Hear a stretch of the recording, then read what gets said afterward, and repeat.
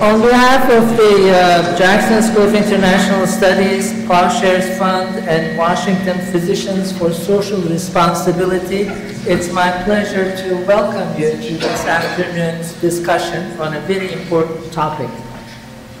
Most of us in this room, I can tell, uh, we grew up uh, in the shadow of nuclear weapons, and it didn't really matter where you were.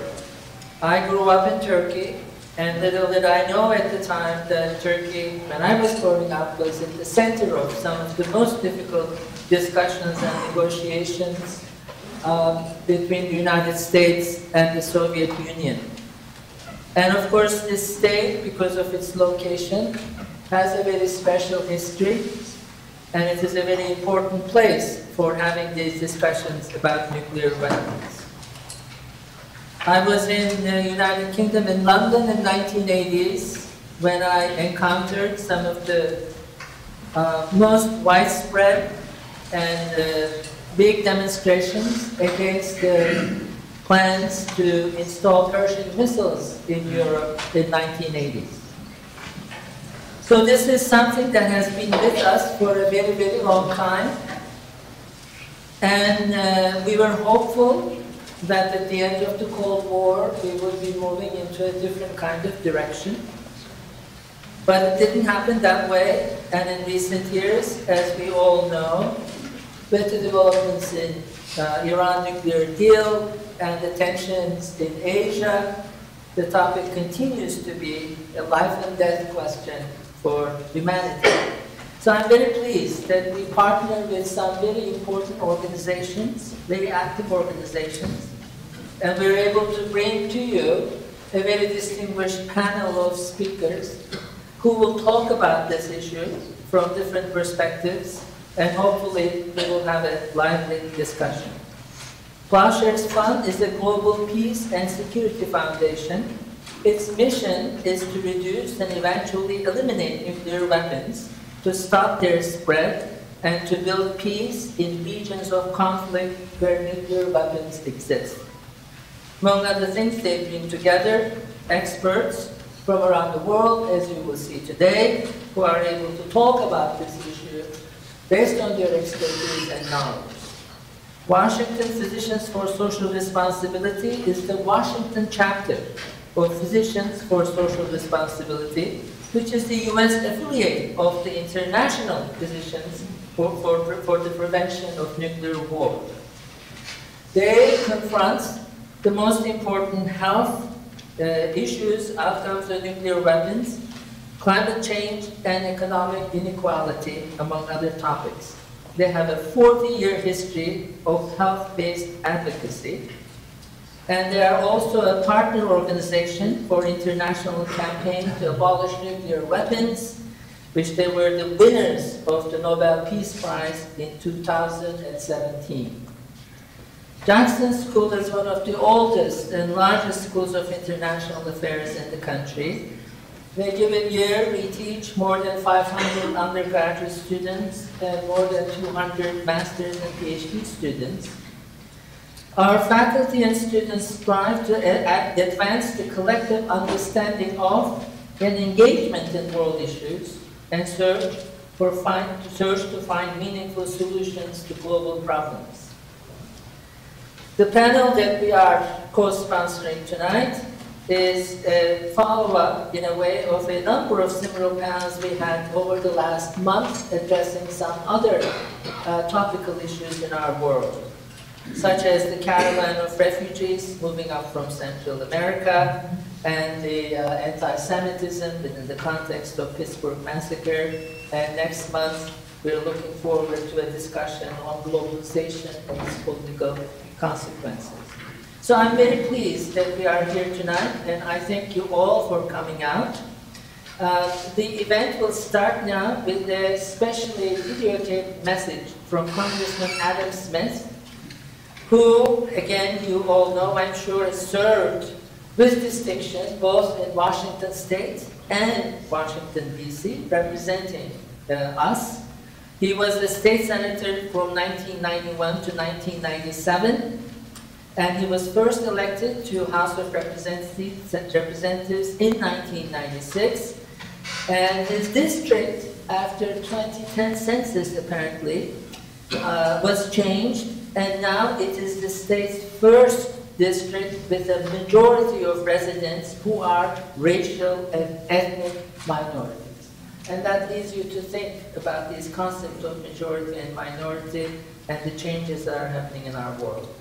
As you all know, Adam Smith was just re-elected to his 12th term, and he is the incoming chair of the House Armed Services the committee. He is one of the most knowledgeable experts on these issues, and I'm very pleased that he has agreed to take this special message uh, for this event. He was hoping to be here with us, uh, but he couldn't. But we are going to hear him, and then we will continue with the rest of the program.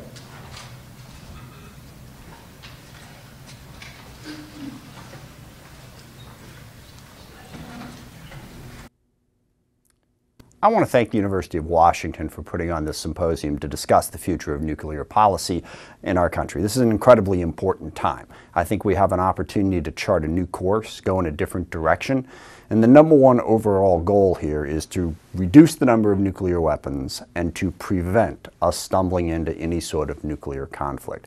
I believe that the nuclear posture review that was put out by the Obama administration and has been reiterated by the Trump administration is, well, frankly, wrong. Um, I think we're spending entirely too much money on nuclear weapons. We are stumbling into a dangerous arms race uh, with Russia on this issue, and I think we need to chart a different course. And we have the opportunity to do that. Now, the first thing that I want to be, do is let's be realistic. Um, the Democrats did take over the majority in the House. I'm in line to be chairman of the House Armed Services Committee. This is an incredibly important issue. But Donald Trump is still president, and the Republicans still controlled the Senate, and they have a different view on, on well, just about everything I'm about to say. So what I think is important is for us to stake out a clear policy alternative, hopefully get that through the House, and to move the debate in a direction that I think puts us on a safer course and also better protects our national security. And there's three main issues that we're talking about here. Number one, I think it's incredibly important that nuclear powers have an open dialogue. In this case, that would mean us, Russia, China, and North Korea. Back during the Cold War, uh, once we got into the 1970s with President Nixon and Carter and Reagan, there was an effort to make sure that the Soviet Union and the U.S., even though we were deeply in conflict, were in communication on this critical issue uh, to make sure that we didn't accidentally start a nuclear war. Um, and, and Bill Perry actually has a truly frightening book that goes through all the times when we came this close. Uh, when basically there was a misreading and one side thought the other side had launched missiles, but because there was open lines of communication, we didn't stumble into that war. We need to reopen those lines of communications, have discussions with Russia, with China, with North Korea. Actually, I'll say, you know, however he got there, the fact that President Trump is talking with Kim Jong un, actually, I view as a positive thing because that's the number one biggest risk where nuclear weapons are concerned is that one side is going to assume that the other is about to strike and launch their own preemptive strike. We have to avoid stumbling into a nuclear war by opening up dialogue to have more communications with Russia, China, and North Korea to prevent that. That's number one. Number two, I think arms reduction treaties are incredibly important because that builds off of number one. It's about communications and dialogue, whether it's the INF Treaty, New START, or going all the way back to SALT I and SALT II uh, under Ronald Reagan having a discussion about how we can limit the number of nuclear weapons, I think, is enormously important. It helps with the dialogue piece, and it helps reduce that arms race and helps make sure that there aren't as many nuclear weapons out there in the world. And I think that communication is important. But ultimately, the final thing I think we need to do is the biggest and the most difficult, and that is to fundamentally change the way the United States looks at our nuclear weapons policy. As it was developed post World War II, and as we built more and more missiles, got to the point where I think at one point we had over 10,000 warheads. It was all premised on a philosophy of how can we win a nuclear war? Why did we need enough weapons to destroy the Earth seven times over? Because the presumption was, well, if the Soviet Union launches a preemptive strike and takes out, you know, I don't know, a third of our weapons, then we'll have these other two thirds and we can fight back. I think that is a fundamental flawed philosophy. There is no way to win a nuclear war. I think we need to shift to a philosophy that is focused on deterrence.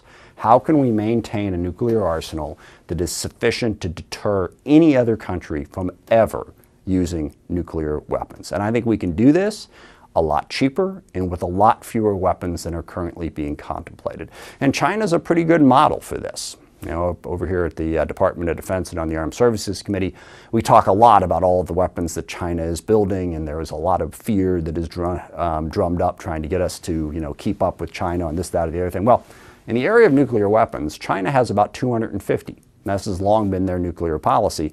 They have enough weapons so that if anyone existentially threatens them, they have a very strong response. That is their policy. They don't have four or 5,000 nuclear weapons. They're not looking to build a lot more. They have enough to protect themselves. That's the direction that I think we need to go in in the United States uh, for a couple of reasons. Number one, it reduces the possibility of stumbling into an arms race. And the more nuclear weapons you have, the more you contemplate the possibility of, quote, winning a nuclear war, end quote, the greater the risk. Second, it saves us an enormous amount of money. And right now, the Department of Defense and our country in general um, has a, you know, more needs than we have money to fill. There's a $22 trillion debt. We have huge infrastructure needs in this country. Even within the Department of Defense, there are needs to fill readiness gaps and to deal with other challenges in modernizing our weapons. If we are spending $1.2 trillion on nuclear weapons, that's going to make it very, very difficult to have enough money to do any of the other things that we want to do as a country. I think this is a better, smarter strategy.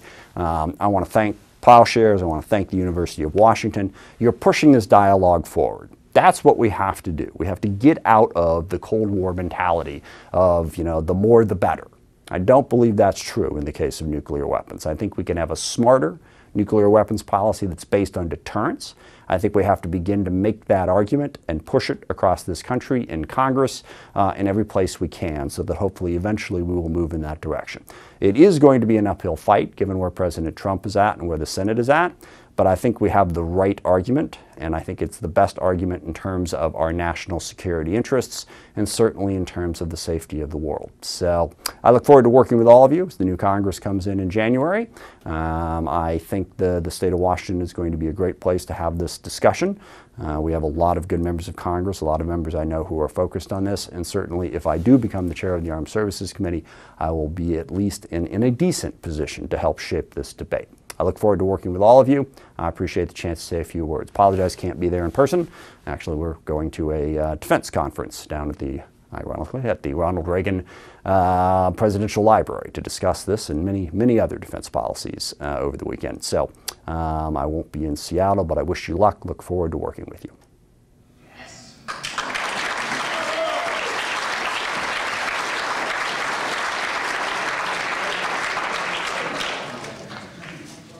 So I uh, would like to invite now uh, the moderator of this uh, evening's discussion is Dr. Amy Hagopian. Um, Amy is the director of the University of Washington's uh, MPH Master of Public Health degree program. And uh, she has been involved in uh, different kinds of research that focuses both international and domestic challenges in health. Um, problems that are based on uh, mortality associated with the Iraq War in 2003, migration uh, and its health, health consequences, um, especially migration between poor countries and rich ones, homelessness, and also incarceration. So some of the most important public policy issues and their health consequences, Amy is centrally involved. She's become a good friend of ours, uh, a good partner with the Jackson School, and we're always very pleased to work with her and with her department. And I'm also pleased to let you know that in 2018, Amy received the Victor Sidel and Barry Levy Award for Peace.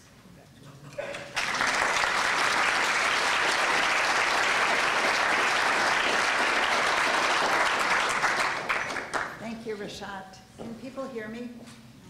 No. I can't hear myself either. Okay. Uh, This is awkward. Um, Where's the guy who we're supposed to rely on for the sound system. Just speak close to the microphone. But then I have to lean way over. Maybe you can help with this. Okay. Uh, so thank you, Rashad. Um, I sort of feel like uh, an Armenian and a Turk walk into a bar and they put on a panel about nuclear weapons. So uh, I came to this issue when I was a kid growing up in Binghamton, New York. Um, uh, my nerdy 15 year old self was president of our student body, and I noticed the building of the ICBM in Alaska and mobilized our student body in this remote high school that nobody cared about to take a stand on that issue. Uh, and I think that's kind of how many of us came to this in our own ways over time. So I moved to Seattle in the 1970s and noticed we were building a little submarine station out here. Uh, and got involved in the Live Without Trident movement. Uh, we mobilized a big downtown, thousands and thousands of people demonstration um, in the 70s before the submarine arrived in 1982. Anybody in that demonstration in downtown Seattle way back in the 70s? Okay, a few of us. Good for you. All right. Um, so these days, nuclear weapons is not one of the political issues that rises to the top of our political agenda. We've got so many competing catastrophes uh, from the migration at the, and the violence at the border, um, even the bombing of Yemen, which we just made a little bit of progress on, police violence, all sorts of things going on in our country that distract us from this really fundamental issue. Um, so nonetheless, we have filled this room. So thank you all for being here. Who are you people who come to this sort of thing? How many of you are students here? So a few, okay, did you get extra credit for this? Okay, no. Uh, how many of you are, would consider yourselves activists on this issue? Okay, quite a few. How many of you, is this your first time really thinking about this? Not very many. Okay, a few. All right, well, welcome. This is a very fun issue to work on. Um, so our goal here today is to ask some experts on nuclear policy to talk to us about this issue, which is clearly a global issue um, with the passage of last year's nuclear weapons ban treaty. It's also a national issue since we're about to spend a huge amount of our treasury modernizing our nuclear weapons system. You wouldn't want to have an unmodern nuclear weapons system and locally, where a lot of our leaders in this state are stepping up on this issue, and we're proud of that. Um, and we're also part of pushing them to do that. So um, I would like to welcome our panel to come to the table now. Uh, I think you all know which order to sit in. Some of us are still adorned with the fabulous jewelry that we were given at the reception from our friends from the Marshall Islands, and you'll hear more about that at the end. So, um, first of all, I'm going to ask a question of Joe Cirincione, who is president of the Plowshares Fund. And he has written three cheerful books on nuclear weapons. Uh, and uh, has worked this issue um, in Washington, D.C., the other Washington, for more than 35 years with a variety of organizations um, the Center for American Progress, the Carnegie Endowment, and the Stimson Center, and the Council on Foreign Relations. He's also served as staff to two U.S. House committees, Armed Services and Government Operations. And he's been on the security advisory boards for a couple of recent secretaries of state, Kerry and Clinton. Uh, and as a security expert, he's often featured in the news, uh, MSNBC, and multiple print and digital news outlets. So we're going to start with Joe, and we're going to ask you what brings you to our state. Um, you, your organization has been a very important. Um, contributor to WPSR, and we're grateful for that. Um, but in this particular moment um, in the nuclear weapons history, Why is Washington State important, and why did you come here? Thank you very much for, for those kind words, and, and thank you all for coming. Uh, Washington State is in a unique position. There are a number of uh, political leaders, a number of movements that are sort of converging on your state to give you a, a unique opportunity to influence national and perhaps global nuclear policy. First of all, I, all of you know that Washington State houses uh, nuclear weapons, about 1,200 nuclear weapons. In fact, if, if Washington State was an independent nation, it would be the third largest nuclear power in the world. Uh, so you have an, uh, uh, a stake in this, you have a knowledge base on this, and now one of your political representatives is going to become, in, in, almost certainly, chairman of the House Armed Services Committee. You just heard Adam Smith. I have never heard a chairman of the House Armed Services Committee talk like that. And I, I, went, I served in the, in the staff in the 1980s. I could say there has never been a, a, chairman of the House Armed Services Committee that was this knowledgeable on nuclear policy, this visionary on nuclear policy, this committed to making dramatic changes in nuclear policy. Even Les Aspin, when I was the chairman, you know, didn't really care about this issue. Ron Dellums, when he was chairman, cared, but didn't do much on this policy and didn't have the kind of knowledge, didn't have the standing to do this. So you've got uh, a chairman that, if he just did what he outlined, would make a dramatic change to U.S. nuclear policy. But you heard him say it. He, he's go ahead. You to applaud. This, this. But he comes in at a particular moment where a blue wave has just changed the face of the Congress, and not just from Democratic to Republican, but really moved the needle on progressive, on new. There are going to be 100 new representatives in the, in the House uh, come January. The Progressive Caucus, which has sort of functioned as a, a moral force, but you couldn't really call it a political force, is going to mushroom to about 100 members. That's almost half of the Democratic caucus are going to be members. And there are leaders uh, in, uh, of that caucus who are also from Washington State. So suddenly you have a, a, a chairman of the Armed Services Committee that almost certainly will have a, a House backing him up, pushing him.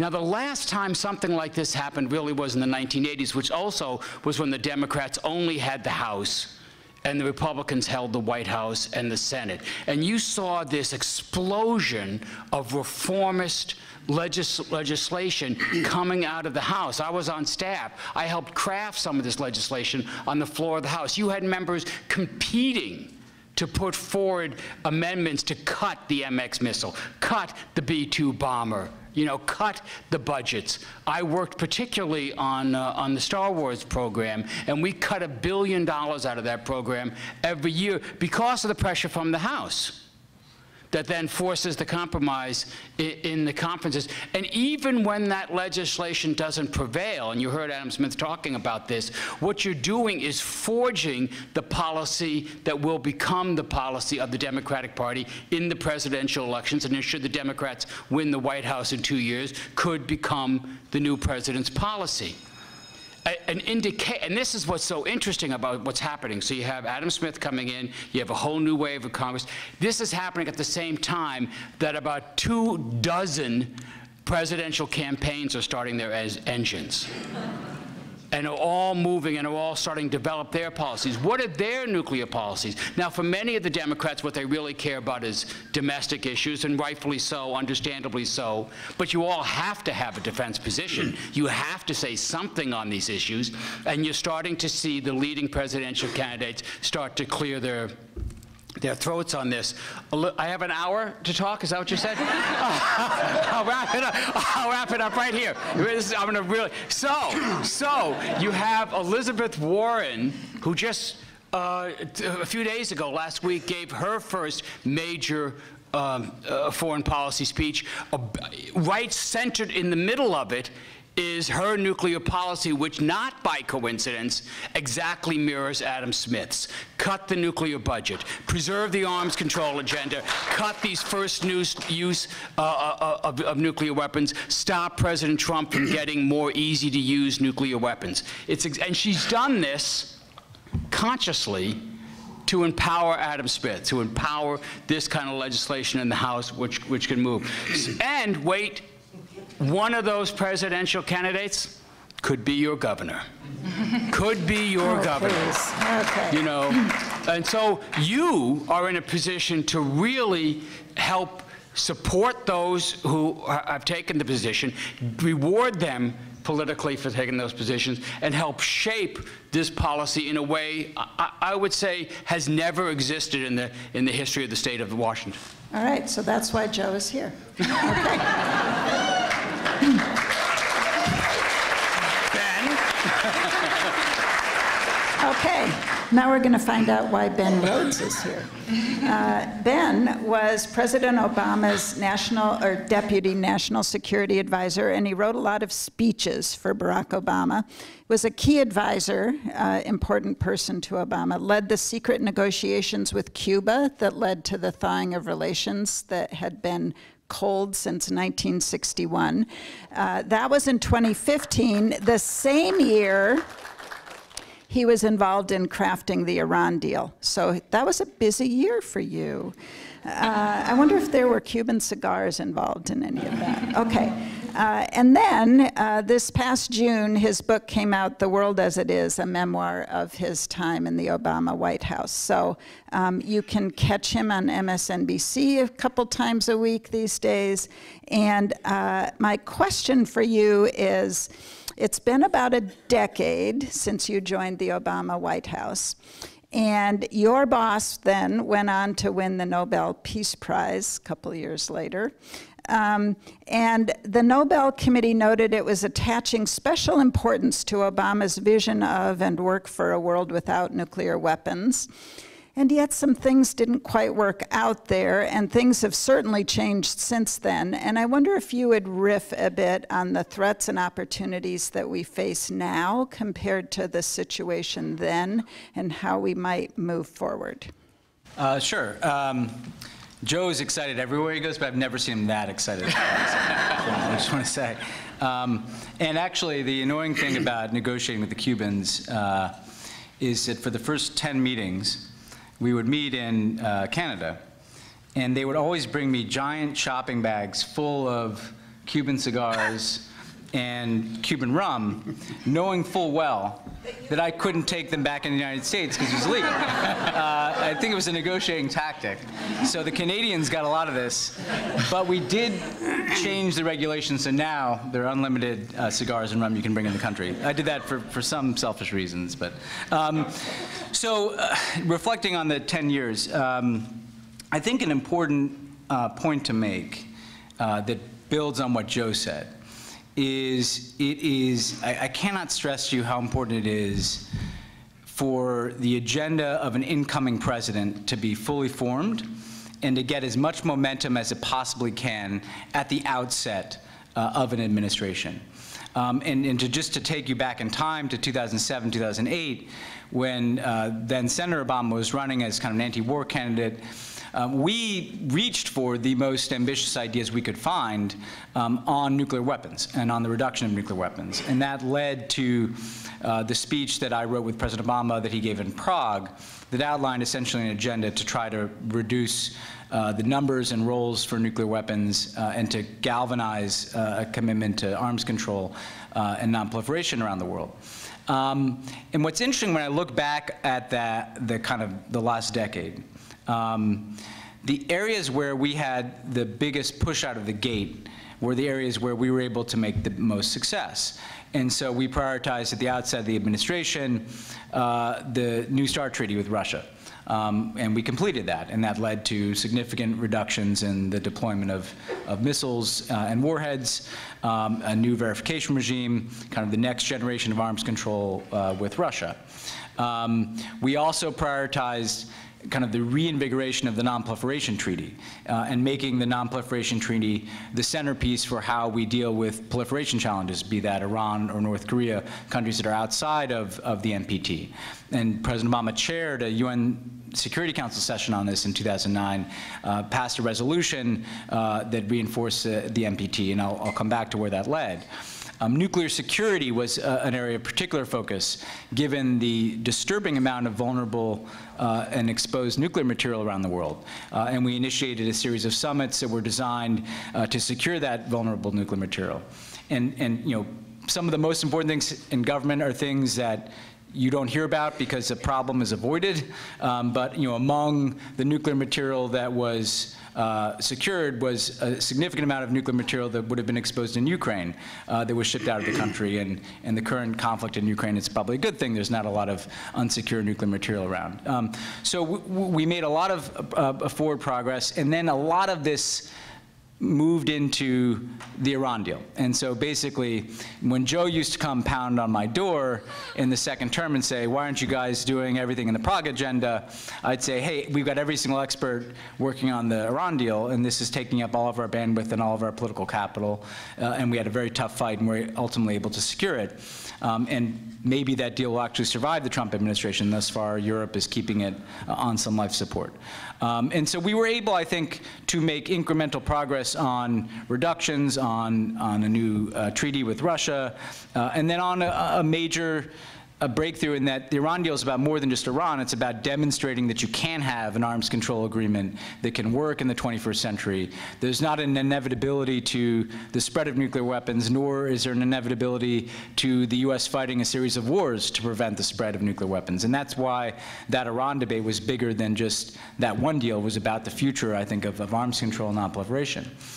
Where we didn't make nearly as much progress as I would like is on a number of other issues where I would say, a mixture of political uh, or bureaucratic inertia um, and in some quarters political cowardice uh, sets in, um, which really gets at what are we doing with our own house and how are we getting that in order. Um, I would have liked to have seen us adopt a policy of no first use of nuclear weapons. These are things that are intensely resisted by mm. the Pentagon, the State Department, the, the, bureaucracy of the US government. And so uh, my lesson that I take away from that is unless you come in with a full head of steam and do that at the beginning of the administration, it gets harder, not easier as things go, go forward uh, to make those changes. Um, we hit a big uh, hurdle in our goal for further reductions beyond what the New START Treaty outlined when Vladimir Putin returned to the presidency in Russia and essentially said, I have no interest in talking to you guys about this. Um, I think we underestimated the extent to which Dmitry Medvedev was pushing beyond the comfort zone of Vladimir Putin, that's a whole other conversation. But essentially that uh, put a roadblock in what would have been, I think, a second term push to have conversations with Russia about further reductions that could bring in potentially China. I agree with everything Adam Smith said. You also, though, need people who are willing to talk to you about those things, uh, and we don't currently have that. I think, nonetheless, the U.S. can do far more to reduce our numbers of nuclear weapons, and we don't necessarily have to wait uh, for a partner in order to do uh, uh, what I think would be responsible and what I think, importantly, Adam Smith uh, suggested uh, as it relates to working our way down to uh, a reasonable number. We identified at least another third of cuts that could be made. I think, frankly, we could go beyond a third in terms of our reductions. Uh, I think the biggest challenge and opportunity right now is this modernization budget that was alluded to. Uh, that essentially, if you look forward into the future, there is up to a trillion dollars set aside for the modernization of uh, the nuclear infrastructure. And that is everything from new delivery uh, vehicles, which uh, Plowshares has, has opposed, um, uh, to just stockpile management. Um, this is not necessary to, to meet the, the level of deterrence uh, that Adam Smith talks about. Um, it is frankly wasteful.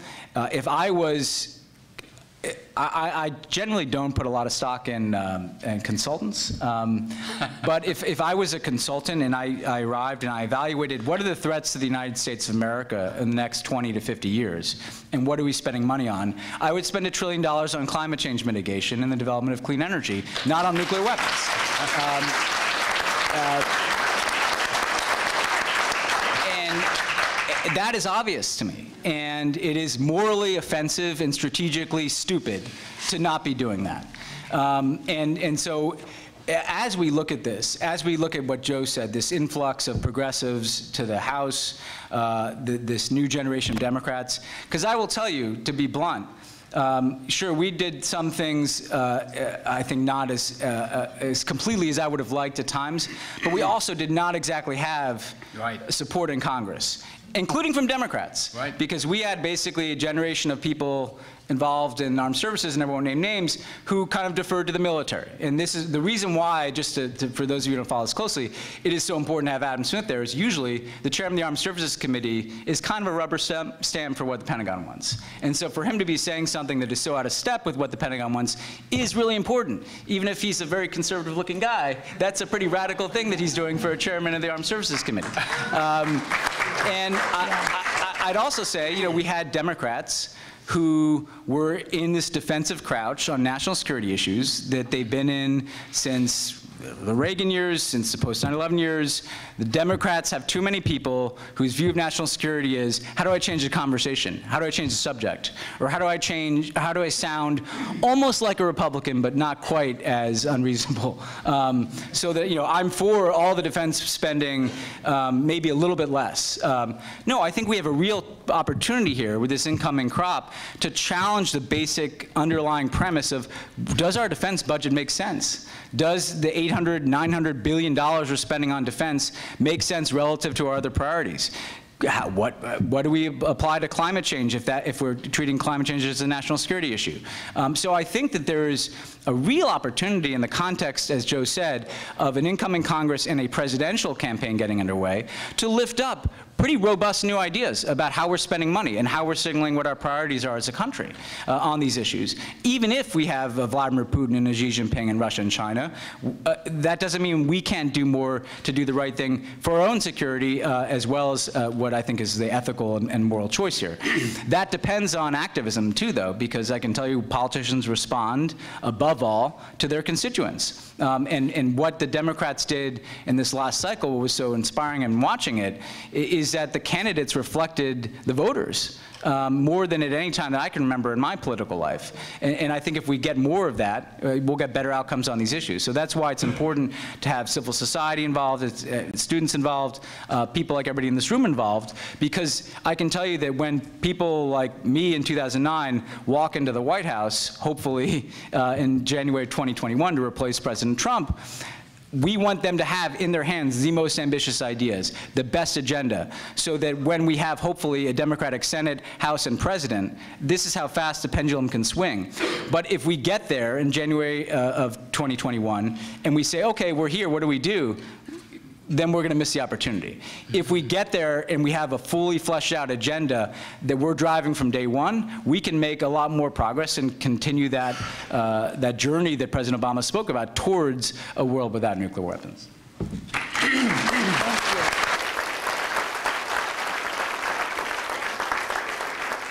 All right. I would really underscore the role of you all in uh, moving our leaders in the right direction. Um, so uh, that gets us to um, some local activity to engage in that activity. So Bruce Amundson is our next speaker, and he is currently vice president of Washington PSR after serving as president for several years. Uh, he's a family physician who practiced in rural Colorado for a decade and then went on to lead a rural health project here at the University of Washington, where he was my boss.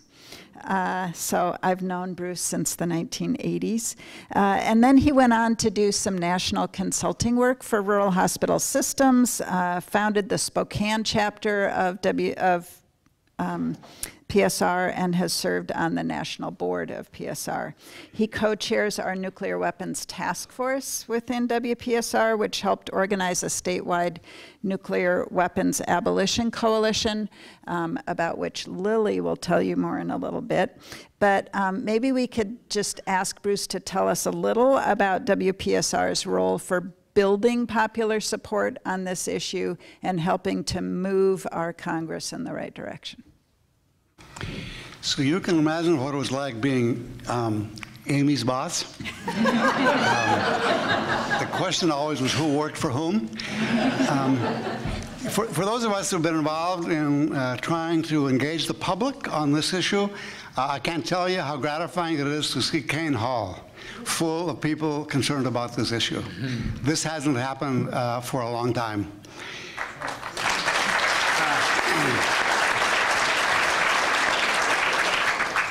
When the uh, nuclear issue began to emerge again on the international horizon some years ago, uh, our leadership at WPSR looked around and said, what is going on in Washington in terms of nuclear activism? And what we found was sort of indicative of the whole country, that uh, uh, since, the, since the Cold War sort of collapsed and the country went to sleep about that issue, uh, there was act activity going on. Uh, our organization certainly continued to be involved. Uh, groups like uh, Ground Zero and Veterans for Peace and FOR involved in, in the issue for certain. But there was no coordinated effort among organizations. There was certainly no statewide campaign to try to address this issue. So our board said, uh, we think we need to take the initiative to begin to recreate a grassroots movement in the state. And it made sense for several reasons. That at 800 members, we probably had the largest, uh, largest of the organizations that had been involved uh, in nuclear weapons advocacy. Uh, we had, uh, had great support from our members, our physicians especially. Financially, we felt we had the deepest resources to help. Um, and we had members, uh, many of us had been involved in this issue for decades, so we had a, a, a, great a history of both experience and knowledge on the issue. But in addition to that, um, PSR, ever since its inception, has seen uh, nuclear war as a public health issue, a classic public health issue, where either you prevent it or you're toast. There is no relevant response to a nuclear exchange. So our argument has basically been, uh, over the years, a humanitarian argument that uh, these weapons of mass destruction are such that they're indefensible from a humanitarian standpoint, and we would build on that argument as we tried to move forward in building, uh, rebuilding sort of an anti-nuclear presence. Um, we, we defined uh, a strategy that included two uh, major components. One was to begin to create, recreate a movement, uh, but to do that by, by enlisting organizations, not just individuals, because of course that had a great multiplier effect and immediately began to build a public movement. And secondly, to invite those organizations to come together, uh, not just to cooperate or collaborate on some issues, but actually to form a coalition and a coalition is a stronger organizational body for action. Uh, a coalition implies that the organizations come together around some common purposes. So as we began to talk to organizations and rather quickly had 20 or 25 organizations that were very interested in, in coming together, um, we did a lot of groundwork to establish a common ground. We, uh, we established agreement on uh, what kind of initiatives and activities we would engage in, but more importantly, we came to agreement on the policy, the nuclear weapons policies that we wanted to advocate for. And those policies included stopping all or most of the proposed rebuild of this monstrous triad, of trying to achieve a no first use policy in the state. Uh, Korea was emerging, uh, enlisting support of our members of Congress to uh, declare a no first use uh, uh, military action in, against North Korea. And so we had, a, we had a clear consensus about what we wanted to try to achieve. And we wanted to create the broadest civil society that we could. And over the, over the, the time, uh, we really were quite successful at engaging not only the traditional peace organizations, but but, but faith-based groups, uh, environmental, labor, uh, social justice, and so forth. So the coalition has been quite broad, but more than, even more than that, we were clear that we needed organizations across the entire state in every one of the 10 congressional districts. And we've really uh, been, been uh, successful in moving that direction. We have organizations that span Olympia to uh, um, um, the Canadian border and from the Olympic Peninsula to Spokane, currently involved in our coalition. The second, The second element of our, of our strategy was to focus this group on impacting policy. Uh, many of us have been frustrated for a long time with all sorts of activism and, and social activity and, and, and marches and so forth that are, on, on, that are not linked to trying to impact policy. And we were absolutely clear that we wanted to, to mobilize these, these uh, organizations to try to impact and engage our members of Congress. And we have been very aggressive about doing that. We have met with every, we, we have always seen this issue as a nonpartisan issue. We've met with every member of our congressional delegation of 12 members. Um, uh, we've over 50 meetings with members of Congress over the last several years. And we are very clear in our meetings with each member that we try to titrate where they are with what we ask. Uh, our members of Congress span the spectrum from Cold War diehards, diehards to folks like Adam Smith who are way out in front in terms of trying to reduce nuclear risk. And in our, in our requests, we uh, tried to look at where each person was at and then a dialogue, and an argument, and try to, try to move them sort of uh, along the, uh, the policy chain. Uh, in addition to that, uh, as these meetings were set up, much of the work done by people like Lily and the, and the rest of our volunteers, as we put the delegations together, we were very clear that the members of the delegation ought to be comprised primarily of individuals from organizations in their district. So it was their constituents talking to them wherever we met around the state, and we've been quite successful at doing that. Um, Lily will talk a bit more about what we've seen happen. We're absolutely encouraged by what we see happening.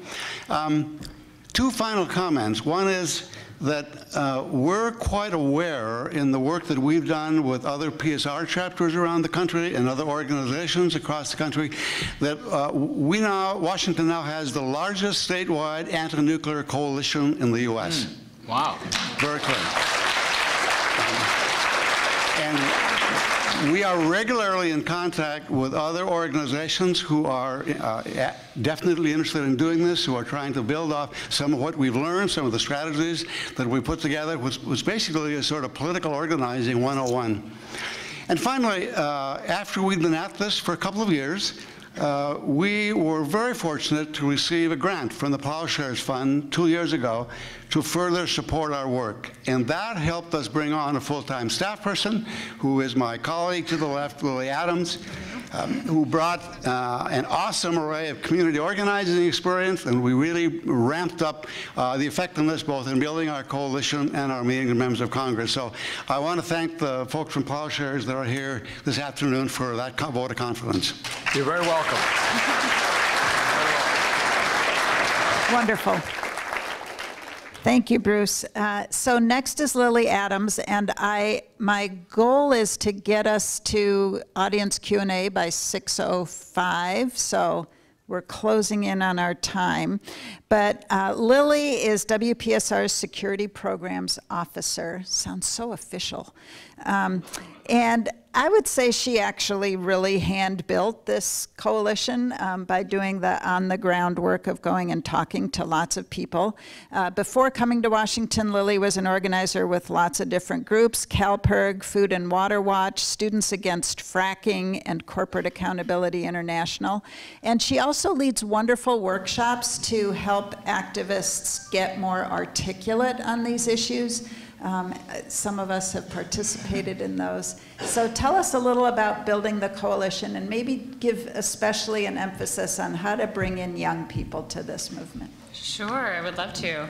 Um, yeah, so in my role, I uh, essentially coordinate the coalition. Um, I started about two years ago, and that's when we kicked things off. Um, and I think it's just been amazing to see the growth in this coalition. I think when I started, I didn't think that we would see 40 groups all across the state um, now involved. And as Bruce said, that is, um, we think, the largest coalition of its kind in the United States. Um, so we have really seen our coalition become a model for this kind of work um, all across the state. Um, Bruce talked a little bit about the diversity. I think that was one of the um, best things we saw. We started with kind of traditional peace groups, the people that we knew had been involved in nuclear weapons advocacy in the past. Um, but I've been really excited to see entirely new organizations come in who we maybe wouldn't have expected, um, who are coming to realize that nuclear weapons issues also affect them and are a threat to their communities, and through the kinds of money we're seeing being spent, take away from their own priorities. Um, and so these are some of the reasons we've seen uh, groups who you know, work on social justice issues or environmental issues or educators come into the coalition as well. Um, and I think what's remarkable about this remarkable about this group is that um, this is not just a list of names on a piece of paper, which is the kind of coalition I've worked on in the past as well. um, this is a really active group. So we meet every single month. We have in-person meetings and people phone in.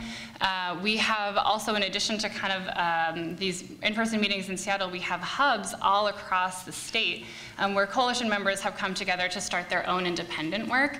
Um, actually, in the crowd, I see a number of people from those hubs. I just want to thank you for coming all the way here. Um, but that is an example. They are actively involved. They're holding educational events in their own communities. They're passing local resolutions. Um, and very importantly, they are also meeting with their members of Congress in district um, to bring these messages straight to them. Um, so that's been really exciting, and we have seen that this kind of grassroots movement has translated directly into results with our members of Congress and the kinds of positions they're taking on policy. Um, and that is so important. So, uh, you know, when we show up to meetings with these coalition members, as Bruce said, uh, we're showing them that their constituents and their voters really care about this. And that's really pushing them to go further. Um, so, you know, we've seen members of Congress who told us a couple years ago Nuclear weapons is just not an issue that I'm concerned about. It's not in my committee. It's not something I need to work on. Now they're stepping out and co-sponsoring legislation and signing on to Dear Colleague letters and most importantly, voting the right way on budget bills on nuclear weapons issues. Um, and that's because of this work we're seeing. You know, we're pushing them to take those steps.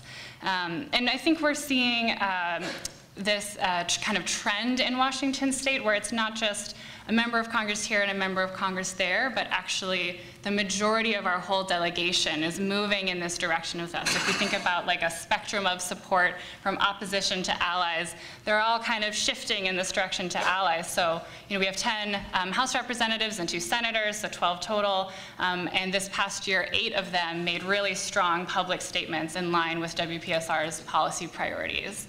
Um, wow.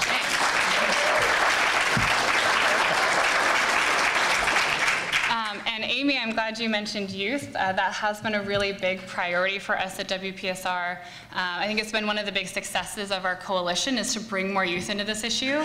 Um, maybe as you can imagine, this is personally very important to me because I would put myself in that category. Uh, I think for people like myself who did not live through the Cold War, who were in fact born after the Cold War ended, um, we never lived with that same kind of fear um, of a nuclear war, a nuclear catastrophe. And there's been in our lifetimes to indicate that we have to see nuclear weapons as an urgent threat. It just doesn't seem real to us.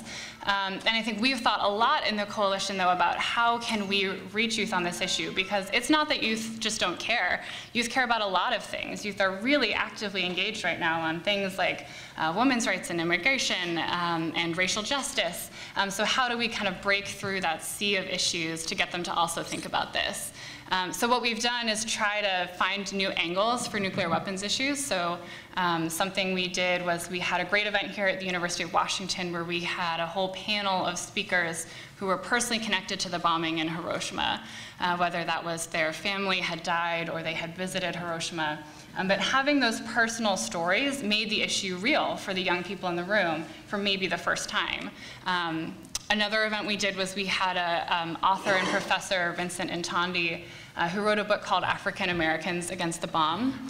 And his book really links racial justice and the civil rights movement to nuclear weapons and the peace movement in this really new and exciting way. Um, and by connecting nuclear weapons to racial justice, which is an issue that youth are really, you know, really care about and are working on, we had a lot more interest in this event. So we had a packed room of, you know, 250 students, uh, which is rare for nuclear weapons issues. So for us, finding those new angles has what's been um, mm. really important to give students the opportunity to take action because when they're confronted with the issues, they do care and they do want to work on them. Um, so that I think has been a really wonderful part of our coalition work is getting more of that youth perspective and finding out how we can move beyond, you know, like those traditional peace groups in our coalition, but also the traditional peace activists, um, because we know we need lots more people to be involved in this issue for us to make the kind of policy changes that we need to see. Thank you.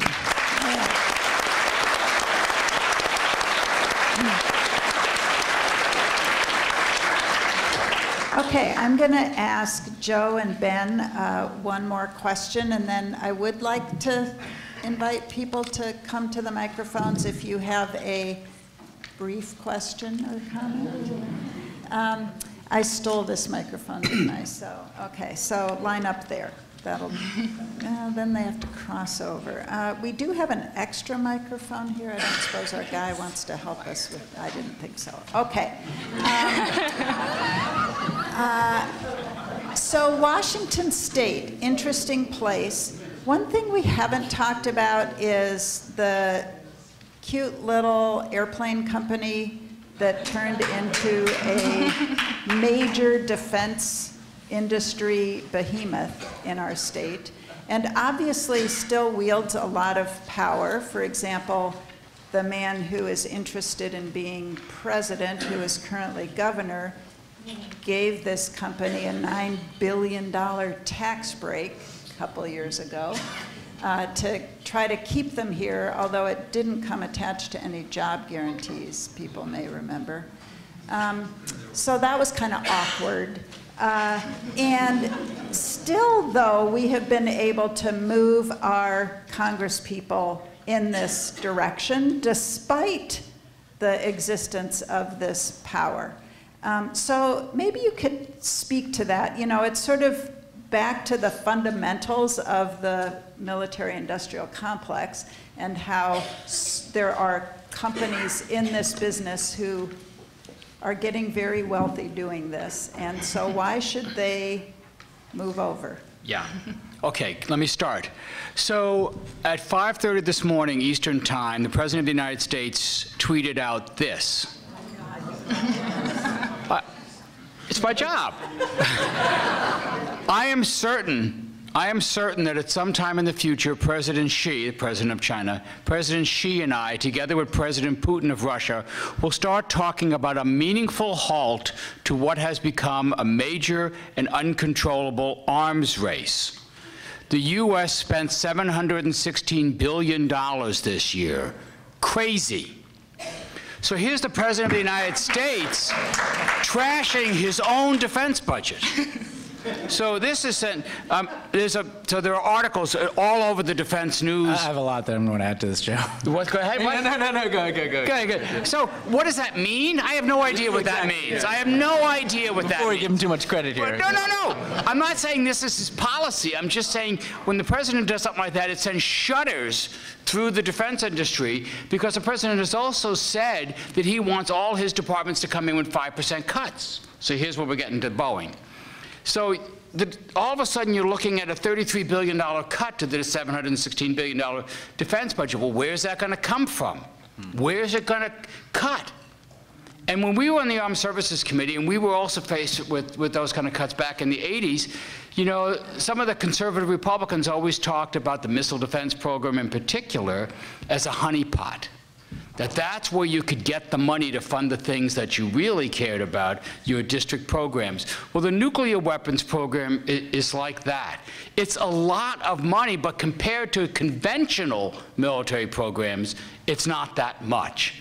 You know, so you can take the, you can take the money from there to fund the things you really care about. And history has shown that when you when you ask the Joint Chiefs to choose, they don't choose nuclear weapons. They choose boats and planes and ships and tanks, the things that they really care about, the things that their troops really use. So there's plenty of money for Boeing to make uh, without uh, uh, without them fighting tooth and nail to preserve this particular sector. So what we have to do is put together the, the, the arguments that you can cut here safely. You can cut the nuclear weapons budget, and this is the place where you can cut and still keep America strong. And if you do that, you can push back the defense industry, uh, and you can get even a, co- a company like Boeing on your side.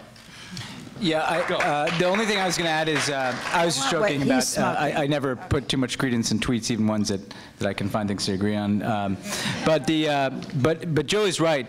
The one thing I would add is, um, You can stop right there. no, no, um, is that uh, on nuclear weapons, keep important, it's, it, it's um, it, the, because I, I agree, Boeing is a multifaceted, Yeah. large enterprise of which nuclear weapons is not a, a particularly significant piece. There are issues around Yemen um, that I would raise with respect to defense contractors. You know, Raytheon in, in particular has, has put a lot of pressure on members to, um, to continue to provide uh, arms to Saudi Arabia for its war in Yemen. That, that was an, a hurdle that we actually overcame uh, in the recent resolution, but that's a different uh, cause. The one thing I'd say that's important to note here, though, is also the labs, right? So everybody focuses on the defense budget. Um, you know, a, a big piece of this is also members or senators uh, in Congress who have labs in their districts. Uh, a lot of this modernization money, some of it goes to weapons, some of it goes to, to the labs. Um, and, and, and here's the key, and this gets to the activism that we heard about there will always be members who care about these things because there's some hardware in their district, right? This is what Dwight Eisenhower warned us about in the military-industrial complex.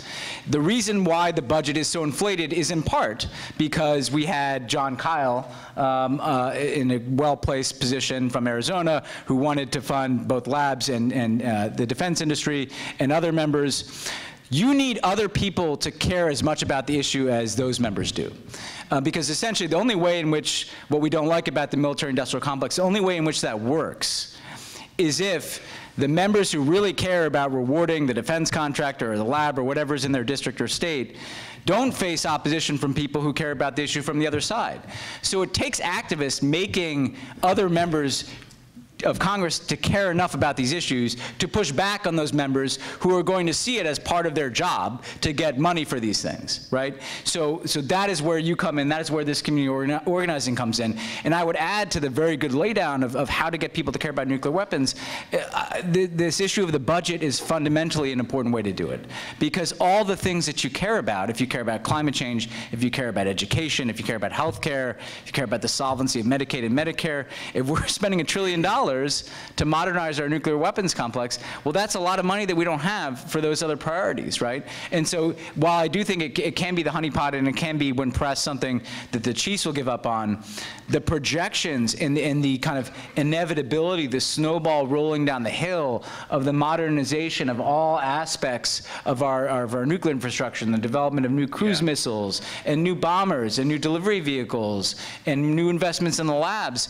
Once that money starts to get priced in and just becomes a reality of the 10-year and 20-year budgeting process, it gets harder and harder to stop that snowball from going down the mountain. And that's where it takes people uh, who care about these issues as much as the members who have a, an investment because it's in their district or state. Yeah.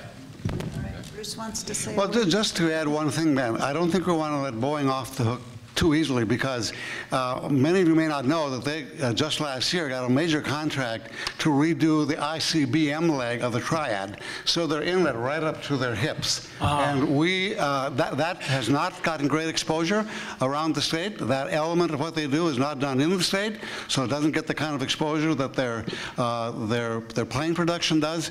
And we're trying to, trying to put the spotlight on that part of that You know, industry. this, just real quick, this, this is actually going to be a, a big issue in the next couple of years, because we've already sunk the money in to modernize the bomber. It's already spent. We've already sunk the money in, and it's very hard to stop the modernization of the sub. So in other words, we're buying a whole new generation of strategic bombers. We're buying a whole new generation of subs. But we haven't started buying the ICBM yet. So this becomes vulnerable. And Adam Smith is raising questions about the, wh- whether the, the triad is really necessary, particularly whether you need that new ICBM. So it is the most vulnerable issue. So you're, thank you for pointing that out, Bruce. Boeing's going to be a player in that. They do want, that's, we're looking at about $120 billion to build a new ICBM. How many people here are constituents of Adam Smith? Worth noting. I think he has a staffer here. Is there a staffer here? Thank you for being here. Let him know, thank him. Yeah.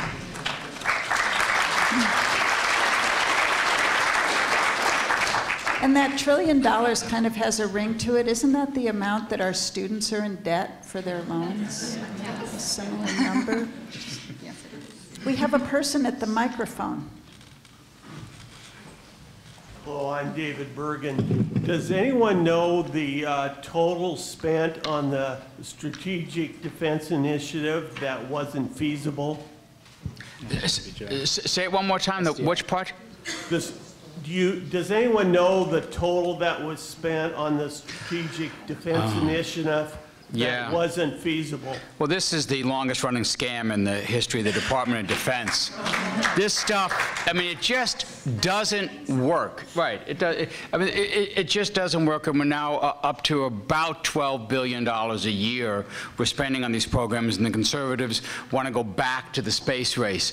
So I think it's, it's hard to keep track of all it. I think we're up to about $320 billion that we've spent on, on these programs, and, and most of it has gone into projects that, that, that never worked, um, and that don't have any, any prospect of work. In other words, you cannot reliably intercept a long-range ballistic missile despite decades of, and, and about $320 billion uh, uh, trying to do that. Okay, over here. Yes, hi, Michael Rotting is my name, and I'm going to do that. Uh, My question is, assuming, uh, thinking hopefully that we do recapture the, uh, the presidency and this agenda moves forward, um, and also thinking realistically that uh, President Putin will stay in power, uh, do you think that President Xi and the Chinese could be potential partners for us, with us, uh, on this issue? Well, you know, first of all, I think, uh, as I said, just to quickly tick it off, there are things that the United States can do on its own um, with respect to reductions in our own arsenal, with respect to significant reductions in, in the budget for modernization, with respect to declaratory policy, no first use, um, with, you know, a number of those things which Adamson mentioned. I think as it relates to an arms control agenda globally, um, I think there's going to have to be an effort to, you know, you need to multilateralize this discussion. Um, the basic problem is that everybody else uses, uh, if, if President Putin doesn't want to come into it, other countries use that as the excuse to not come into the conversation. So, for instance, some of the countries that are least uh, eager to discuss their nuclear arsenals are our closest allies in Europe um, because they like to have them. It comes with prestige, and so they, they want to avoid the conversation. Um, I do think, however, um, that the, a U.S. president could try to force this issue, and one way to do it is uh, to begin this conversation with the Chinese. Not because the Chinese, uh, you know, as Adam Smith alluded to, they don't have an enormous delta to lead to further reductions. However, our experience with President Xi was um, there are elements of his leadership style that are deeply troubling, um, but some of the very same attributes uh, can be harnessed for positive ends, and for us it was the Paris Agreement. So essentially we have this guy who's very ambitious, who wants to be a player on the world stage, who wants to, to feed the impression of a China whose moment has arrived, and we kind of used that, and President Obama cultivated that for about two years. Let's do this big thing together. Let's, let's jointly announce what the outlines of the Paris Agreement are going to be, your commitment and my commitment together, and then that can be the framework that people come in behind. And that's what the Paris Agreement is. The, basically, the U.S. and China had a bilateral agreement that was announced uh, at the end of 2014 that then created all of the, the framework and momentum for the Paris Agreement at the end of 2015. So yes, I, I think that just enlisting China in that discussion um, could be a way to catalyze some global conversation around the issues. I think uh, if you talk about the most dangerous, everybody talks about North Korea and the United States, the most dangerous flat point in the world is India and Pakistan. Um, and so you also need to find some way uh, that they will resist, but to have uh, uh, more transparent discussions with the governments of India and Pakistan about their um, their nuclear arsenals as well. So I think the old model that we used in the first term to good effect with New START and then ran into a, a, wall on in the second term is the U.S. and Russia leading, and then that allows you to, to, to move into a more multilateral discussion. I think there's going to have to be some creativity around this, and it's going to have to involve outreach to the Chinese. It's going to have to involve like pretty deliberate, dedicated efforts to make countries like India do things that they don't want to do, which is to have these types of discussions with us, um, and ultimately try to create some multilateral framework for this. And, and again, one other place to return to is the NPT um, uh, and, and, and, verification. I mean, talk about funding, the IEA could be uh, much better funded as well. So, so yes, I think that's one place to start, and, and I'd, I'd look to other countries as well. Okay, NPT, you used an acronym. Oh, sorry, the Nuclear Nonproliferation Treaty, okay. Eh, which is kind of the framework, the basic bargain being that countries with nuclear weapons are committed to give them up and, and at least be working in the direction of giving them, so reducing their arsenals. And countries without nuclear weapons agree to not, um, not develop them. A lot goes into that, obviously. Right. Okay, looks like we have some people at the microphone. We don't have a lot of time. Maybe we'll just hear each two people in a row, uh, just for the fun of it. Go ahead. Say, tell us your name. Quick question, Craig, Craig Gannett. I just want to follow up on a startling comment that Mr. Cirincione made um, that I heard to be that if Washington was an independent country, it would be the third largest holder of nuclear, of nuclear weapons. Mm -hmm. And my question is, other than the Trident base at Bangor, which I think we're all familiar with, where are those weapons? Oh, that could be a quick answer, right? You, you know, th that's it. They're, they're, they're, all there, and it's basically the, the deployed weapons that are on the eight uh, strategic subs that, that come out of Kitsap, and then there's a storage facility to, for the uh, reserves. So it's a, it totals around uh, 1,200. If you give me a second, I'll give you the exact numbers. Okay, over here. Tell us your name. Hi, this is Bill Donnelly uh, from Seattle. Um, the question is really about um, the possibility of a wag the dog moment. It seems to me that we have a relatively unsophisticated and unstable uh, uh, group of people in, in the current administration who have even talked about uh, the possibility of this. And I, uh, Joe and I talked about this a little bit, but Ben, maybe you could address this from your experience as to what are the possibilities of that being out of control. Yeah, I, uh, I, can give a quick answer. I'm very worried about this, and I've been worried about it for some time. If you think about the arc of the Trump presidency, the first year he really did try to push a domestic agenda, and a lot of time was spent on health care and then the tax bill. Um, once that essentially was done, after the tax bill, that's when you saw him already moving in a direction where presidents naturally migrate when they can't get a domestic agenda through, which is national security. And that's when you got a trade war with China, uh, uh, that's when you got more aggressive immigration policy, including family separation at the border. That's when you pulled out of the Iran deal. So already in year two, that was when you saw this movement into immigration and national security policy, because that's where Trump is unconstrained, because the executive has a lot of power. Now he's got divided government. Now he's got scandals encroaching on him. And we've got two years, which is a long time. And so I've been quite worried about this. What I'm most worried about is Iran. Uh, if you look at the language that they're using to describe Iran, if you look at the number of flashpoints in that region, from southern Syria to Iraq to the Straits of Hormuz. We're not even getting to the nuclear yeah, program. The, the, the capacity for the United States and Iran to find themselves in a conflict quickly um, has always been there.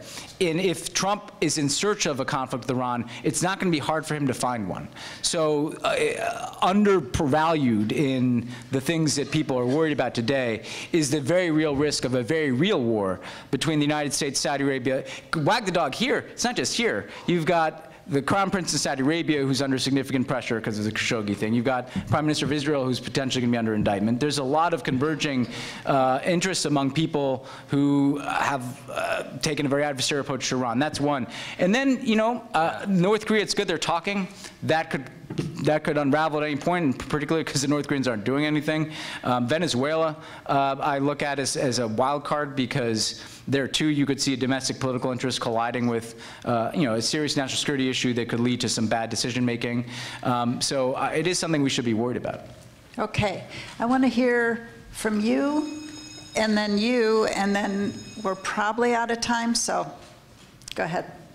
Say your name.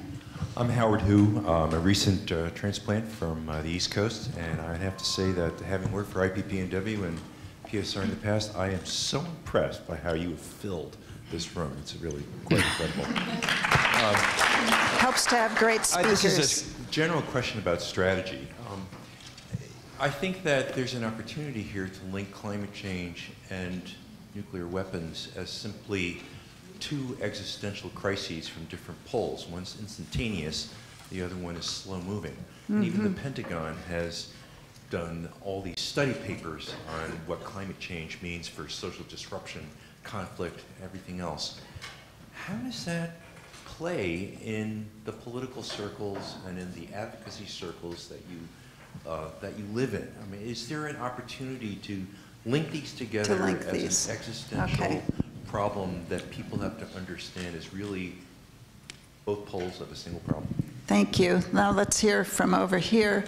Um, I will say Tilman Ruff was here a couple weeks ago um, from IPPNW, and he did that linking very nicely. So go ahead. Um, As a nuclear weapons and climate linker, my question really is about the press. Uh, Bruce had a wonderful op-ed this week in the Seattle Times uh, criticizing uh, pulling back from the Intermediate Weapons Treaty. When I was a student and got involved in the nuclear freeze movement, this was in the newspapers all the time. Why is the press no longer interested, and what do we do to activate them? Okay, good question. Uh, Okay, I'm going to let you weave that into our final, those two things, into our final round, uh, which, yes? Why don't we start that way? Yes, With with Lily. Lily. Sure. Yes, I was going to. Okay. Good idea. Um, And uh, the question basically uh, involving those two points about the press and climate change is what can the audience do uh, to move this issue across the next two years as we enter the presidential campaigns, uh, to keep this issue on our radars and uh, make progress? Lily. Okay. Um, well, as the coordinator of this coalition, you can probably guess that what I'm going to say is join our coalition. um, but truly, this is a wonderful opportunity here in Washington State because we have this unique and dynamic group of people working on the issue.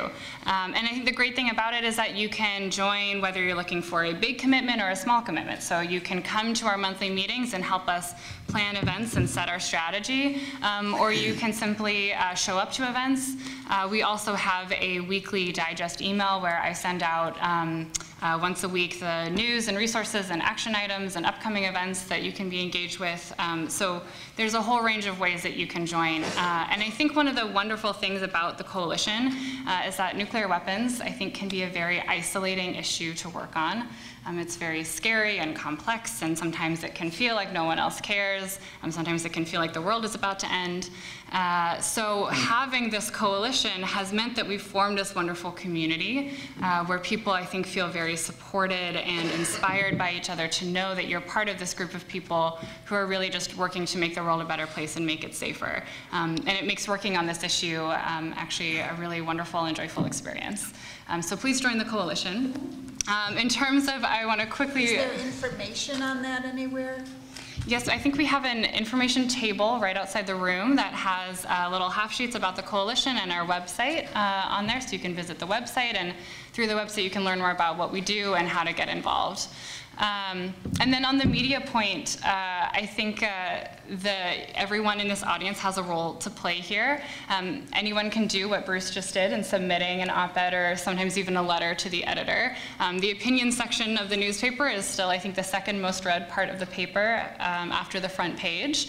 Um, and I think what we've seen through the coalition too is um, a dialogue forming, especially in smaller local papers, um, where people are really reading these every day. Um, you can be the ones to bring this up in your own community, and I think that is a really important way that we keep this going, um, both for um, engaging people um, in the public, but also engaging members of Congress. Staff of members of Congress scan the news for their bosses' names, and we have found that this is a great strategy where you directly target a member of Congress in your op-ed or in your letter to the editor, um, and I think that's a great way to keep the momentum going on this issue. So I would add this. Um, I, I would guess that all of you belong to organizations of some kind. It may be an environmental group, it may be a faith group, it may be a social justice group. Our argument is that every organization, no matter what their primary concerns are, has a common interest around uh, the human, the, the human community surviving. Bring your organization to the coalition. The more diverse it is, uh, obviously the more powerful, and every organization there uh, can, can enlist this element of what we're doing, uh, regardless of what the primary purposes of your organization are. So if you don't get involved individually, uh, bring your bring your organization to a coalition, and let's have something that is so massive that it's unstoppable. One other comment I'd make about the link between climate change and uh, nuclear weapons. You're probably aware of the study that was done that showed that even a modest exchange of nuclear weapons between Pakistan and North Korea would lead to uh, global cooling and a, and a famine catastrophe across the northern hemisphere, and the the uh, instability of of, uh, of nations, the mig- the migration of populations, is creating instability that actually increases the probability of war, uh, including nuclear war. So there are several linkages. Uh, our national organization sponsored the first conference on the relationship between climate change and nuclear weapons in Boston last year to look specifically at that linkage. Uh, we need more conferences of that kind. Um, so I, I, I just say, um, you know, first of all, um, you know, I, I've got two young daughters who are four and two, and the the fact that that our government is is working actively against action on climate change is among all of the moral outrages that we consume every day um, at, at the top of the list. Um, it is hard to get your mind around the breadth of the irresponsibility that we are living through a moment in which we can prevent uh, potentially the scale of the human catastrophe and social disruption and economic catastrophe that we are currently sleepwalking into, and we have leadership that is actively denying the existence of the problem, it's almost hard to get your mind around the extent to which that is a complete and utter failure of our politics, of our society. Um, I think that the linkage is there uh, in many ways. Uh, I'd add this, you've heard me come back again and again to the budget one, because ultimately what politicians do is they make decisions about how to spend your money, and they're spending it on nuclear weapons instead of dealing with climate change. And if you think about it, to step back for one moment, if you think about activism, and this is why you matter and plowshares matter and uh, Washington Physicians for Social Responsibility matters, you know, I've spent a lot of time the last couple years, like you might think, wondering about how the hell we got here. After eight years of the Obama administration of Donald Trump, I travel a lot around the world. I travel in Europe, where the Brits are dealing with Brexit, where the Germans are dealing with the return of neo-Nazi linked parties. I can tell you that the far right in the West is incredibly organized. They are incredibly financed. They're financed by the same people. The same people funded the Brexit campaign, who funded the Trump campaign, who funded all the far right movements that we see in the West. They are in cahoots with Russia. This is all happening before our eyes. They've managed to convince enough people that elites are to blame for their lot. And so you should trust these kind of identity politics, white supremacist based models of social organization. And that's allowed them to take political power. But the thing is, the pendulum can swing back, and it can swing back very hard. And the reality is, younger people are not with that program. Okay, it's not how young people voted in the Brexit referendum. It's not how young people voted in the 2016 election, and it's certainly not how young people voted in the 2018 election. I used to be one of them. now I'm middle-aged. Um, but I can tell you that it's pretty simple. If young people in the West decide to elect leadership that reflects their priorities, we will spend that money on climate change instead of nuclear weapons. It's that straightforward. It's about registering and voting. It's about also saying that if people are mad at their elites, what you should be mad about is that you've got these leaders in Moscow, in Beijing, in Washington, who think it's a better idea to spend hundreds of billions of dollars and trillions of dollars on nuclear weapons instead of spending money on your social welfare, and instead of spending money on fighting climate change. It's, it's, if you're going to harness a populist argument, we have a better argument to make than they do. So why are we losing? Because we're not as organized as they are. And so now is the time to get organized. And that happened in this last election cycle, but it has to happen through two, three, or four election cycles. This was the mistake that we made right? Barack Obama got elected in 2008 and we thought everything was solved. But then we got clobbered in the next couple of election cycles when he wasn't on top of the ballot, and here we are. So the, the key to, to me is these eh, organizations like this are, are the fulcrum. This is the hub for how you organize a movement that ultimately takes back political power in our country.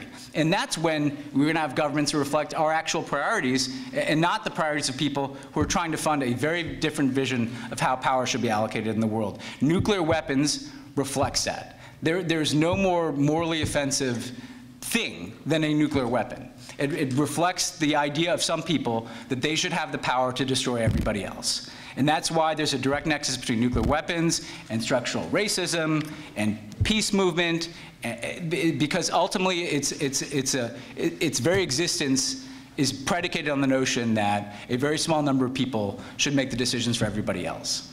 And I think that most people believe that the power should be the other way around.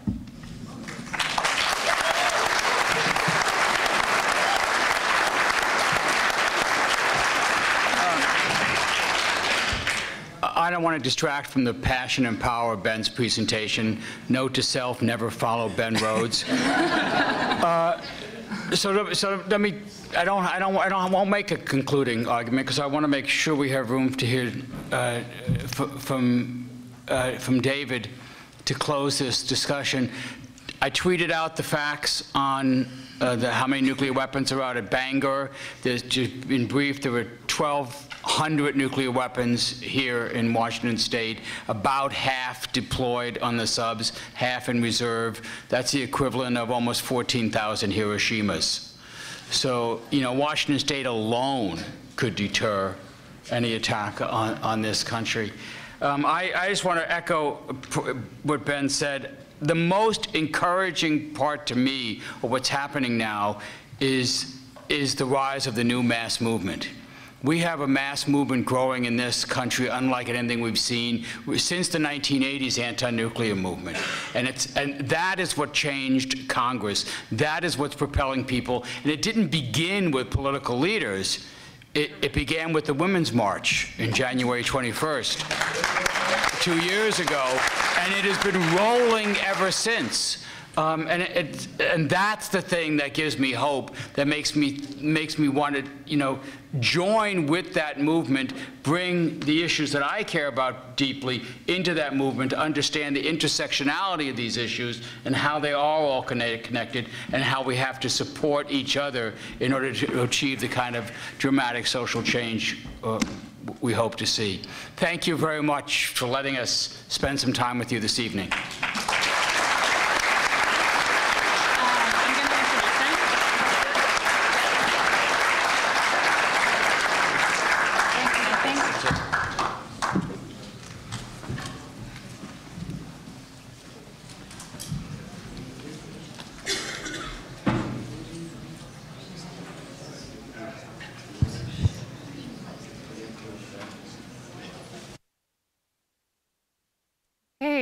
Hello, can you hear me?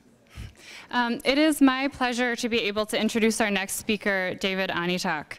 Um, something that I had hoped to talk about during the panel, which I might take a moment to talk about now, um, is that Washington State is very deeply connected to nuclear weapons, not just because of the 1,200 nuclear weapons we have at the Kitsap Bangor Naval Base, um, but also because Washington State actually represents the entire life cycle of the production of nuclear weapons. Uh, so we have in eastern Washington uranium mining for nuclear weapons at a mine located uh, on the land of the Spokane Tribe of Indians. Uh, the next step is production, and um, probably many of you are familiar that we have um, Hanford in eastern Washington, which was the site where the US produced the majority of their plutonium for nuclear weapons. Um, the next step after production is to test the weapons themselves. Um, and the US, or um, Washington State has one of the largest populations in the country um, of Marshallese Islanders. And the Marshall Islands was where the US tested 67 nuclear weapons, which David is going to talk more about. And then finally, after you do all of that, after you mine the weapons and produce them and test them, you have to clean up the massive amount of deadly waste that they produce. Um, and we also do that in Washington, because at Hanford, uh, we have the most contaminated nuclear site in the Western Hemisphere and the largest envir environmental cleanup effort in the world um, to clean up that nuclear waste. Um, so Washington State represents this entire cycle, and I think what is very important to recognize and remember when we talk about this um, is that the communities that are harmed by this system are so often indigenous communities, communities of color, and low-income populations, our most vulnerable populations. And this is a trend we see not just in Washington State, but anywhere in the US and anywhere in the world that nuclear weapons are produced and tested. So we often talk about, uh, you know, what are the costs of a nuclear war? How many people will die if we ever stumble into a nuclear catastrophe, as Adam Smith said. Um, but we cannot forget the communities who are currently bearing the burdens in their bodies and in their lands, who are currently dying and in harm's way because of the nuclear weapons activities that we have already engaged in as a country. Um, so too often when we have events like this and discussions about nuclear policy, these communities um, are not brought up and their voices are not heard. Um, and so that is why tonight we felt it was very important to have a speaker here to share some of these stories.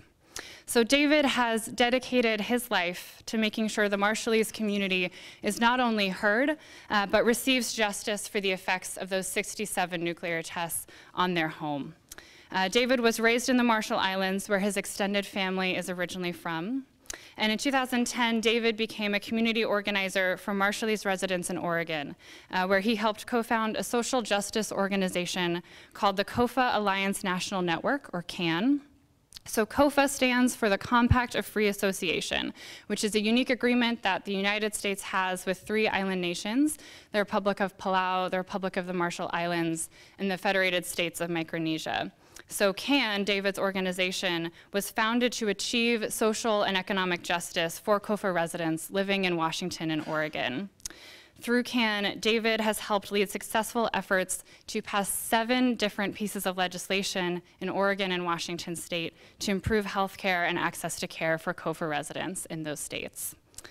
David and his family recently moved to Washington to continue his role as a community organizer, for an activist for the Marshallese, and now serves as a consultant to the Republic of the Marshall Islands National Nuclear Commission. I have personally been so humbled and inspired to work with David and others in the Marshallese community and to see firsthand their resilience and their compassion and their dedication this relationship that we have built with the Marshallese community means so much to me and to WPSR. And I am so glad not only that David can be here tonight, but that we can continue to work together to find justice for the Marshallese people. Please join me in giving a very warm welcome to David Anitok.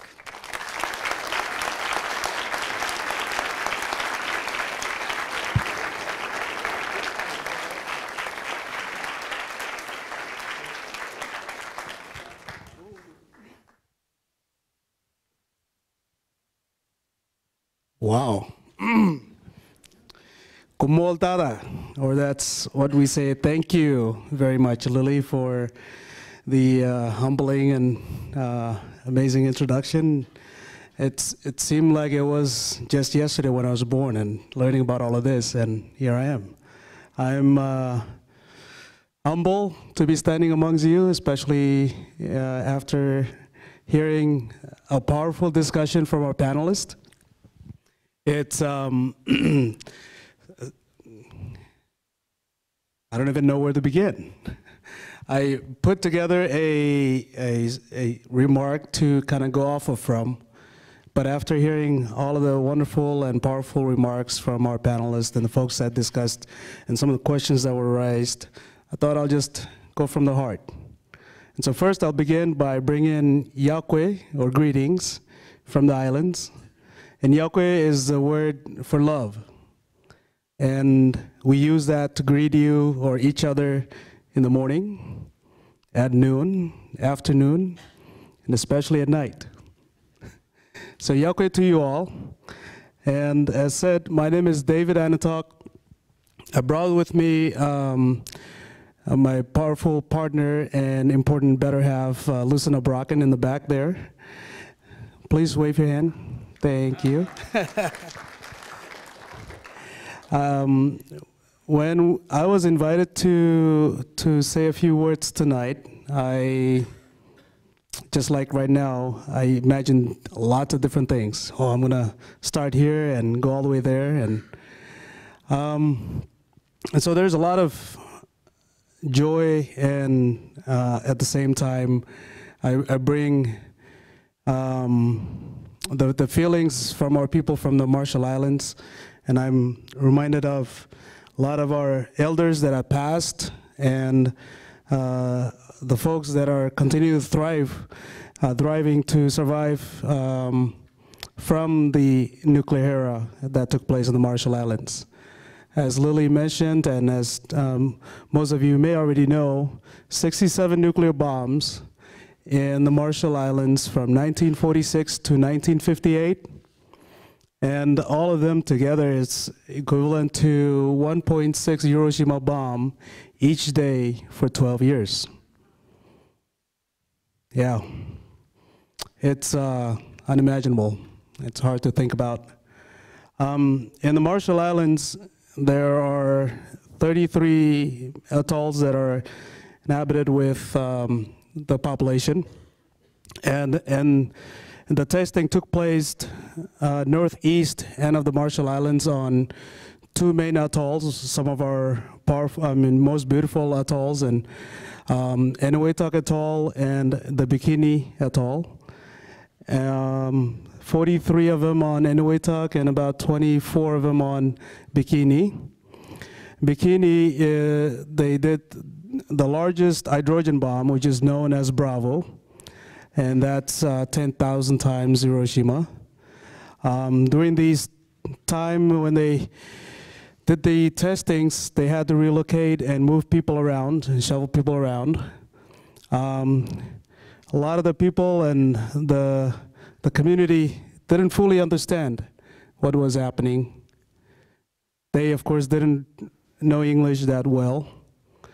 Uh, when the general convened a meeting on Bikini Atoll to inform the chief and his people that he was going to, that the United States wanted to borrow their island to do testing, he said, this is for the good of mankind. So therefore, the chief, being um, a godly man himself and a faithful person himself, thought, well, if this word mankind means, might be something to do with God, I'll give you the permission to go ahead. And they thought borrow the islands would be for a few months or maybe a few days and then they'll come back. The people of Bikini today are still stranded and are, excuse me, they're, they're without their homeland. And so many of these uh, consequences that we face till today, as it was said earlier, we're now here in Washington, continue to thrive and try to find ways to uh, better our lives since the nuclear has come and uh, has a big impact on our islands and changed the whole livelihood that we knew from our ancestors and the traditional knowledge that we, we knew and the way of life that we knew has changed. And so has um, many of our activists from many of whom that should have been up here to tell you these remarks more um, in a better way so you can un fully understand and know what, what, why what you're doing and why you're here tonight is important. WPSR and all the organizers are doing here is important. To reduce and potentially stop nuclear weapon is important because we've been through it. And we don't want any of you or any of our children to go through the same. I was um, incredibly moved to hear the importance of trying to link the climate change to this issue of nuclear. Because as you know, we now face climate change up front. Our islands are eroding, sea level is rising, sea acidification is as high as it could be, as it has ever been, and we're losing our, our lands and our fish, and again, it's impacting the very livelihood of our people in the Pacific Islands. And I'm glad that we have a space in this, this afternoon to say a little bit, because uh, not only the Marshall Islands, but in the entire, the entire Pacific Islands.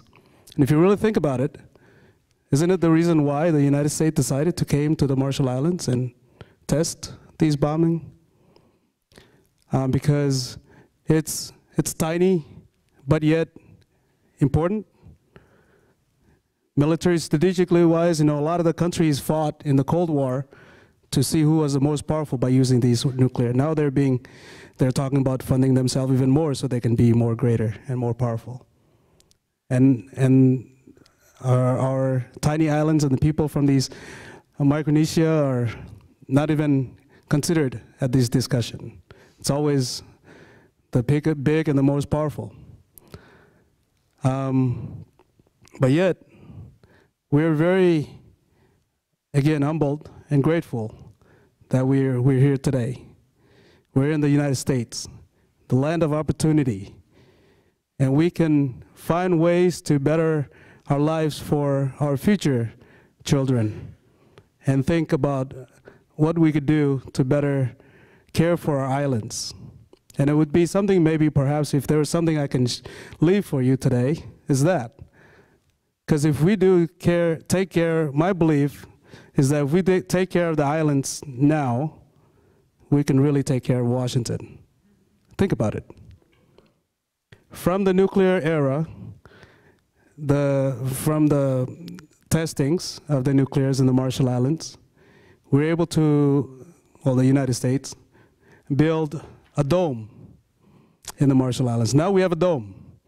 But instead of like the beautiful domes you have around the United States, you know, your football domes or it's a nuclear waste dome.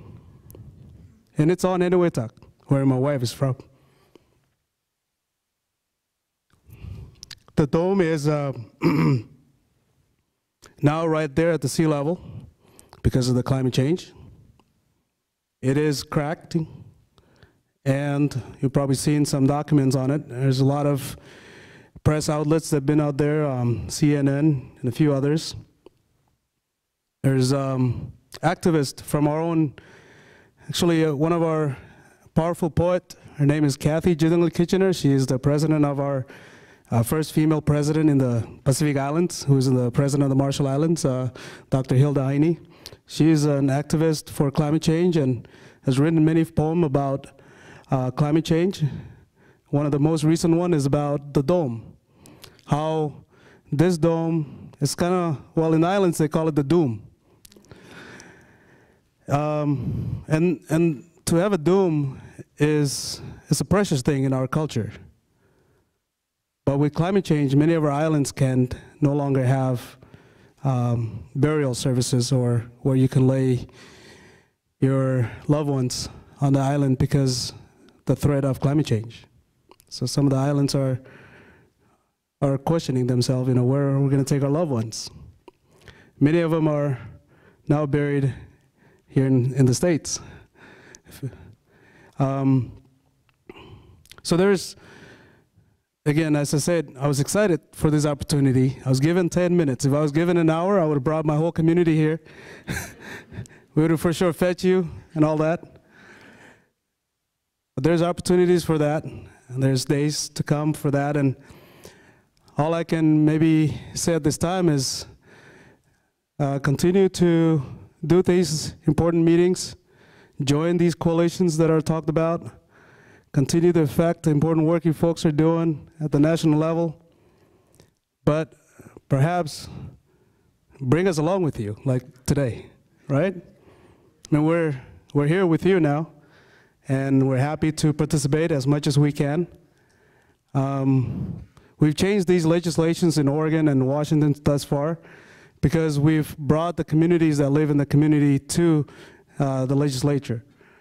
And it's, it's, yes, it is budget, it is policy, it is all these different priorities, but it is the other important P word, which is people, us. And we matter. And we, as long as we could do it with each other, not for each other or, but with each other truly, um, I believe we can really affect some great changes. Um, and I'm just in awe of all of our speakers today and your work, incredible work, the organizations, and all of you that are here today. I think I'll stop there because of time and see if there's any questions. I'll be love, I'll be love to answer them. Thank you.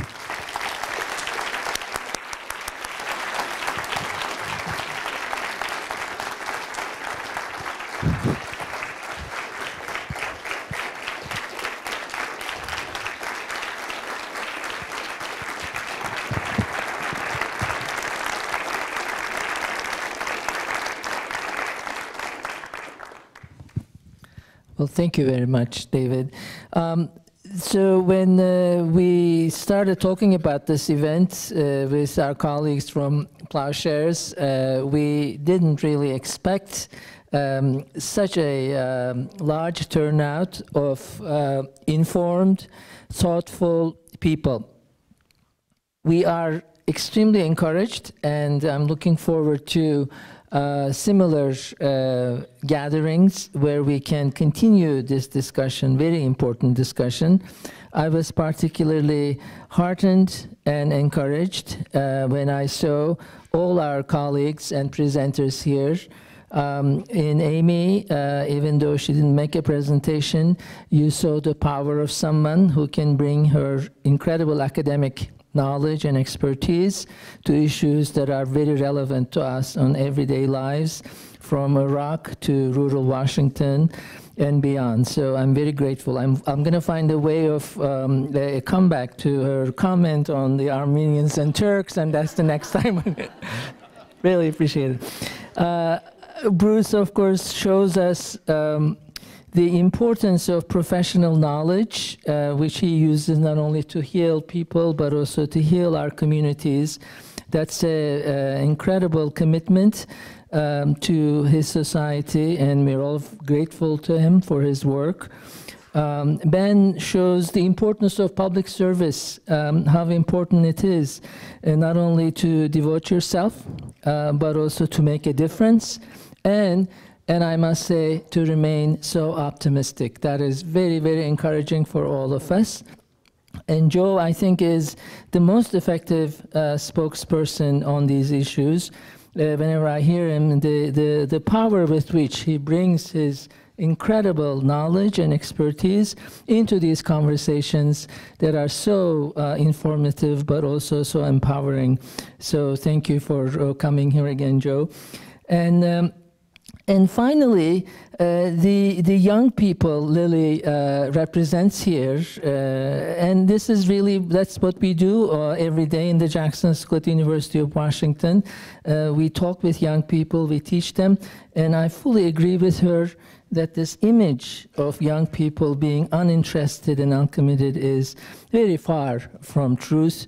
We see examples of that every day, and when they are given the opportunity and the space, they more than rise to the occasion, and we saw a very good example of that in Lily, and, and I'm really grateful. So I'm grateful to my colleagues uh, who helped uh, this uh, event, with this event, and thank you all for coming out here. Um, as we move towards this uh, holiday season, as I said, uh, I'm looking forward to welcoming um, all of you again in further conversations, and a very warm thank you to our panelists for their comments. Thank you very much.